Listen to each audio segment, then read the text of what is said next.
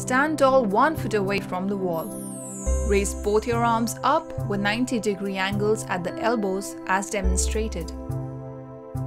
Imagine there is an orange between your shoulder blades and you need to squeeze the juice out of it, so slowly take your elbows back, hold them back in orange squeeze position for a second or two and gradually bring it forwards. Repeat 4 to 5 times.